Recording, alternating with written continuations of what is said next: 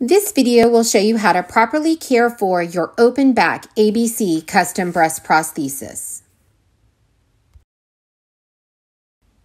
On a daily basis, clean the front and back of your prosthesis with a damp cloth or disposable disinfecting hand wipe.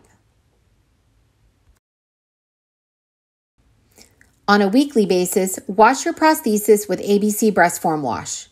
Wet your prosthesis with warm water, then apply a pea sized amount of ABC breast form wash to the backside and wash for at least 15 to 20 seconds, like you wash your skin or hands.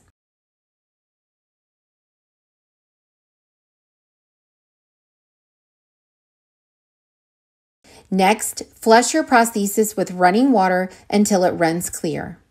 Your prosthesis will be saturated with water, so be sure to repeatedly squeeze it over a sink or a container to expel, remove, or discharge the excess water.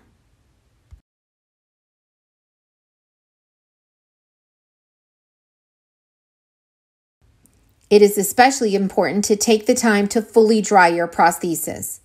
Wrap it in an absorbent towel and apply firm downward pressure.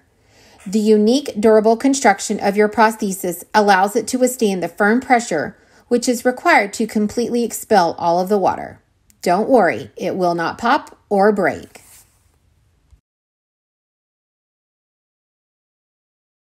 After cleaning or washing your prosthesis, place it in the provided pink case nipple side down.